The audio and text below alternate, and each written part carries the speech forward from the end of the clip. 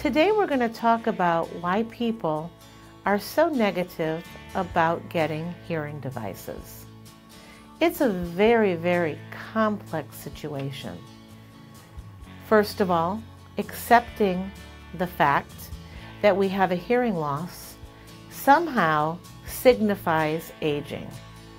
Well, let's face it, we're all going to get older, but wouldn't it be nicer to get older and be able to hear your grandchildren and still enjoy going to theater and going out to dinner? Secondly, people are adversely affected by opinions of others. Lots of people have negative experiences with the hearing aids. Lots of people have negative experiences with hearing devices that really have nothing to do with the device itself. To have success with hearing aids is very easy.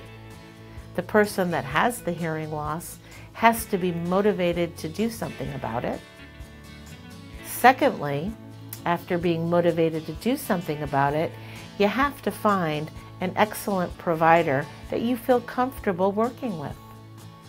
Finally, that provider needs to provide you with a quality product. But today, devices are phenomenal. If those ingredients of motivation, good provider, and good product exist, the outcomes are amazing. Hearing aids are very discreet. Hearing aids offer amazing opportunities to be able to engage in things that you're avoiding because of your hearing loss. So don't let it discourage you. Take the journey for yourself. Form your own opinion. Form your own knowledgeable decision.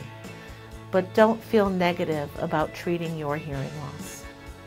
I hope that I've helped you overcome a little bit of the negativeness of pursuing quality hearing health care.